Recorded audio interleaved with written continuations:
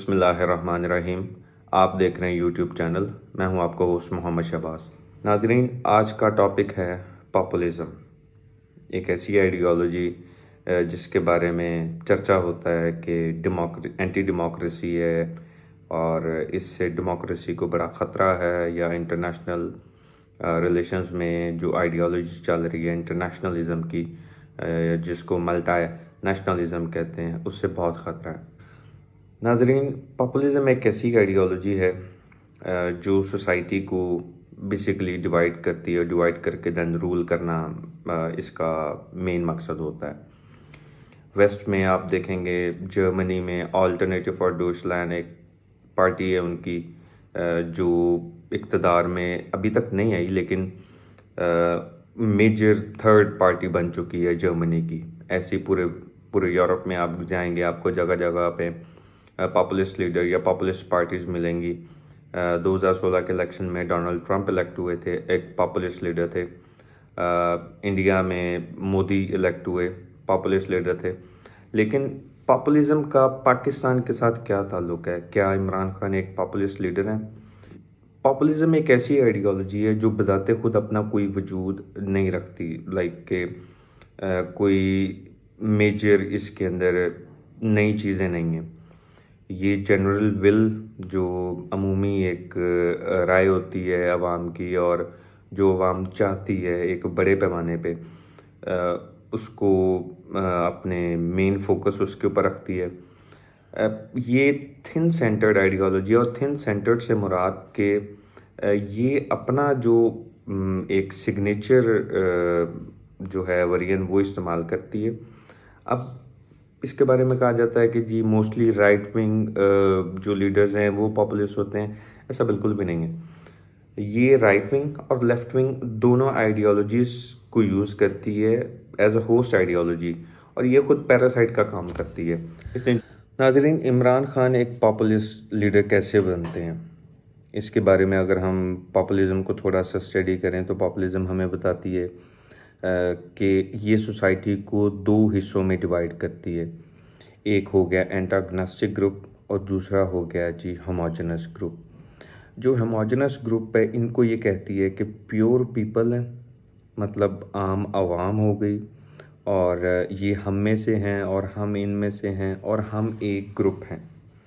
दूसरी साइड पे ये कहती है कि जो एंटागनास्टिक ग्रुप है, ये वो लोग हैं जो हमारे ख़िलाफ़ हैं और ये बिल्कुल भी हमारी चीज़ के बारे में या हमारे एहसास को नहीं जानते। ये करप्ट लोग हैं। अब इसको थोड़ा सा अगर हम मज़ीद एलेबोरेट करें या इसको खोलें तो इमरान खान का जो बयानिया हम देखते हैं उसके अंदर आता है कि जी, करप्ट अशराफिया है करप्ट लीट है, इनको आवाम का कोई ख्याल नहीं है और आवाम के बारे में ये बिल्कुल नहीं सोचते। पैसा चोरी करते हैं, लूट खसूट, और ये सारी जो चीज़ें चलती हैं। फिर एक अमूमी जो एक बात चलती है कि हक और बातिल। अब जो पॉपुलिज्म है, ये भी यही चीज़ करती है कि सोसाइटी को डिवाइड करती है और कहती है इधर यू आर विद अस और अगेंस्ट अस या आप हमारे साथ हैं या हमारे ख़िलाफ़ हैं। इमरान खान का भी यही बयानिया है कि हक और बातिल के अंदर या आप हमारे साथ हैं या हमारे ख़िलाफ़ है, दरमियान की कोई चीज़ नहीं होती। न्यूट्रलिटी का कोई प्रिंसिपल नहीं है। आप न्यूट्रल नहीं हो सकते। फिर इसके बारे में आता है कि क्या पॉपुलिज्म से डेमोक्रेसी को ख़तरा है? डेमोक्रेसी को इट्स सेल्फ पॉपुलिज्म के से कोई ख़तरा नहीं है, क्योंकि ये एक जो इसका बेसिक प्रिंसिपल है, जिसको हम नॉर्मली एकेडेमिया में पढ़ते हैं democracy is rule of the people by the people for the people कि ये जमहूरीत एक अमूमी हकूमत होती है जो आवाम से होती है आवाम के लिए होती है और आवाम पे होती है अब इसको अगर हम पॉपुलिज्म में देखें तो पॉपुलिज्म सरासर ये सारी चीज़ को ही लेके चलती है कि जी जो जनरल विल है वही डिफ़ाइन करेगा कि आवाम क्या करना चाहती है क्या उसके होंगी पॉलिसी होगी गवर्नमेंट की और कैसे लोग उसके ऊपर तैनात होंगे और किस तरह से होगा। जो इमरान खान का बयानी है, उसको ये पूरा पूरा उसके ऊपर चलती है। लेकिन जो एक थोड़ा सा अगर हम जनरली देखें तो जहाँ पे ये इमरान खान के बयानी से हटती है, वो है कि मिनॉरिटीज़ के राइट पाकिस्तान में इमरान खान मिनॉरिटीज़ के राइट्स के हवाले से बात करते रहें और इनके ऊपर काम करते रहे। थर्ड आ जाएगा कि इंटरनेशनली इसको थ्रेट क्यों समझा जाता है? और पाकिस्तान के लिए क्या पॉपुलिज्म बेहतर है?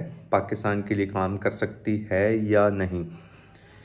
नाजरीन, जहाँ पे ये क्वेश्चन आता है कि पॉपुलिज्म एंटी डेमोक्रेसी है तो पॉपुलिज्म एंटी डेमोक्रेसी नहीं है, ये एंटा लिबरल डेमोक्रेसी है।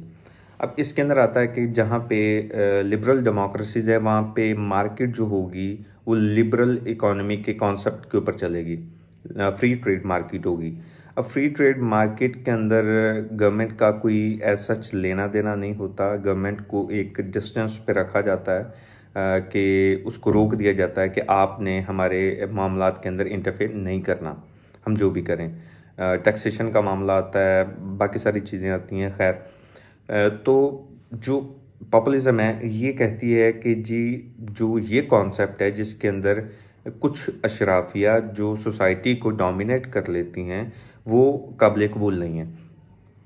हम लिबरल डेमोक्रेसी की तरफ़ नहीं जा सकते और ये जो ट्रेंडिंग कॉन्सेप्ट था, ये आपके हमसाया मुल्क इंडिया के अंदर ये अप्लाई हुआ और उसने उनकी इकॉनमी का बेड़ा गर्क करके रख दिया।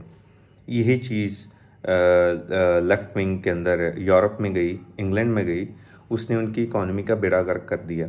अब जो आपका जो एक स्टेट का मॉडल होता है, उसके ऊपर अगर आप फोकस करें, क्या वो न्यू लिबरल मॉडल के ऊपर चल रही है स्टेट या आपका चल रहा है रियलिस्ट मॉडल चल रहा है तो उसके हिसाब से ये चलती है। क्योंकि पाकिस्तान के अंदर कोई भी as such such liberal government आई नहीं। पीपी पीपीपी को देख लें, जो अपने आप को लिबरल कहते हैं, वो भी सेंटर के अंदर शिफ्ट कर चुके हुए हैं।